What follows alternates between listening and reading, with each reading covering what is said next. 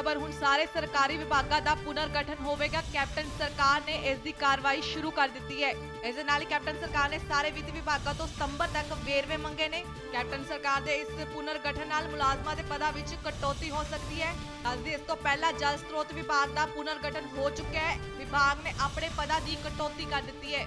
ਦੱਸਦੀ ਕੈਪਟਨ ਸਰਕਾਰ ਵੱਲੋਂ ਇਹ ਫੈਸਲੇ ਵਿੱਤੀ ਹਾਲਾਤਾਂ ਨੂੰ ਵੇਖਦੇ ਹੋਏ ਲਿੱਤੇ ਜਾ ਰਹੇ ਨੇ। ਜ਼ਿਕਰਯੋਗ ਹੈ ਕਿ ਬੀਤੇ ਦਿਨੀ ਸਰਕਾਰੀ ਮੁਲਾਜ਼ਮਾਂ ਨੂੰ ਝਟਕਾ ਦਿੰਦੇ ਹੋਏ ਕੇਂਦਰ ਸਰਕਾਰ ਨੇ ਨਵੇਂ ਰੇਲਵੇ ਪੇ ਰੋਲ ਤੇ ਭਰਤੀਆਂ ਕਰਨ ਦਾ ਐਲਾਨ ਕੀਤਾ ਸੀ ਜਿਸ ਤੋਂ ਬਾਅਦ ਹੁਣ ਪੰਜਾਬ ਦੇ ਸਾਰੇ ਸਰਕਾਰੀ ਵਿਭਾਗਾਂ ਦਾ ਪੁਨਰਗਠਨ ਹੋਵੇਗਾ ਚੰਡੀਗੜ੍ਹ ਤੋਂ ਰਵਿੰਦਰ ਮੀਤ ਦੀ report Dainik Savera TV all open challenge 17 time gold medallist Mian Rafiq Mohammad पंडित मौलवी बेगम तांत्रिक इन चोरा ठगा तो सावधान स्पेशलिस्ट वशीकरण सट्टा नंबर लव मैरिज पति पत्नी च अनबन विदेश च पक्का होना कारोबार दा ना चलना सिर्फ़ 31 ਘੰਟਿਆਂ ਵਿੱਚ ਸਮਾਧਾਨ free free free Mian Rafiq Muhammad mobile 843447494647 84374 94648